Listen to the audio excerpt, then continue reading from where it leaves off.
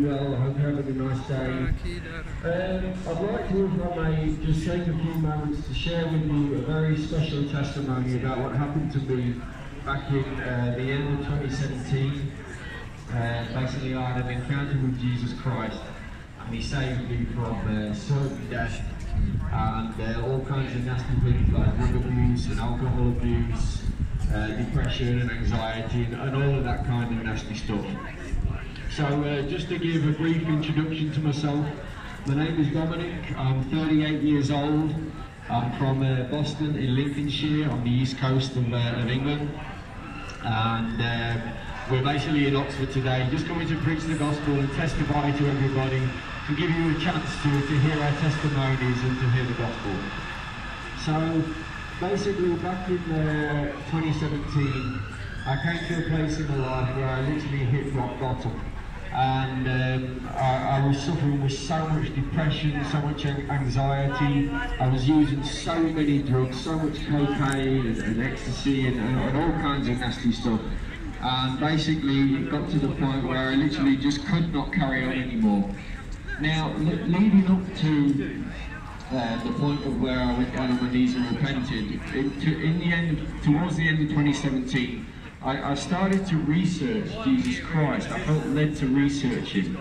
And so I was looking on YouTube, looking at people's testimonies of people that have been healed from cancer and diabetes, broken legs getting healed, people being saved miraculously from car accidents, uh, people being born again. Um, and, and, all of these amazing testimonies I was watching, and, and the more I, the more I researched, and the more I looked into it, I, I, I started to think, well, maybe Jesus Christ can help me. So um, I came to the realization that I needed to repent for my sins. I'd done enough research by now. I, would come to understand the gospel a little bit. Um, so I decided one night to go down on my knees and give Jesus Christ a chance. So I went down on my knees, I repented for all my sins, and I said to the Lord, I said, Lord, if you truly are the Son of God, like people tell me you are, then show it to me. I said, if, if you love me, Lord, like people tell me you do, then, then show me, Lord. I said, Lord, I repent for all of my sins. Um, I said, if, if you forgive my sin, I will give my life to you. And I'm asking you, Lord, to come into my life and be Lord and Saviour of my life. Now, I repented for a good 30 to 40 minutes, and um, I, I, remember going to sleep around half past 10 that night. And um, I remember waking up again around midnight, and then immediately as I opened my eyes, I was aware at the end of the bed there was a spiritual figure sitting. I was aware it was a male figure, and that person showed me an image of a little baby boy with a gold cross uh, around its neck, uh, a gold chain around his neck, sorry, and a gold cross on the end of the chain. As that image faded away from my mind, I was aware of that person standing up. I even felt the bed physically move next to my, my left foot, and I watched that person walk out of the room, literally just disappear. I fell back to sleep almost immediately.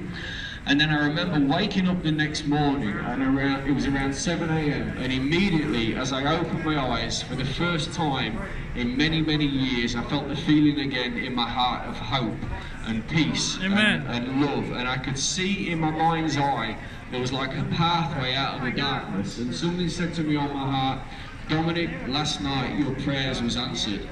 And um, it was just it was it was incredible. And, and, of course with this having happened I was hungry for more because I could see a way out. Something came to me. Somebody came to me. So uh, I carried on researching. I carried on praying. I kept repenting. I kept reading my Bible. I tried to build up a relationship with the Lord. And it ended up that I met some people from the last Reformation. And uh, basically I was taught through a full repentance I was baptized and born again, and I gave my life to the Lord. And I've been walking with the Lord since then, and uh, He truly has turned everything around in my life. So, Hello. just to, as a small testimony, I'm completely drug free. I have no um, desire to use drugs at all anymore. That's all been taken out of me. Um, the depression has gone. I get no more of that black depression, that suicidal depression. That's all gone. Um, so much more clearer. Uh, and of course, you know, when, when, you give your life to, to, to God and you believe in the gospel, you receive the gift of eternal life with Jesus after this physical lifetime. So, um, yeah, I truly hope, ladies and gentlemen, this testimony touches your heart. And um, if, if you want to come and talk to us at any point today, you're more than welcome. We'll be here. Um, if you'd like to receive prayer, or uh, you want to, do you want to understand the gospel properly, or um, talk about being born again, or anything that uh, may be on your mind, you're welcome to come and speak to us, and you're more than very welcome. Amen. Um, Praise the Lord. Now, also, what I'd just like to do briefly, if I may, is uh, just explain a little bit the gospel because I feel that in the mainstream society, very few people get a chance to, to hear the true gospel of Christ. You see, Jesus came to save the world. He did not come to condemn us that you've been taught by your religions or, the television or the mainstream media. He came to save us. You see, the world is already condemned. This world is already going to condemnation. So you know, when, when Eve sinned in the Garden of Eden, sin came into the world. And also as well, when Lucifer fell with a third of the angels from heaven, that they got cast down to earth, they, they caused havoc across this planet. So we're living in a world now full of sin, full of evil, and this society is infected with it. So Jesus is the way out of it. He is the only way. He is the way, the truth, the life. And um, you know, it's important that we make a conscious decision to choose Jesus rather than this world, you know.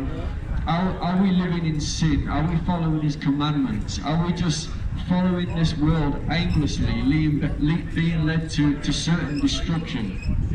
Um, but, you know, um, yeah, Jesus, he, he, God sacrificed his son for us.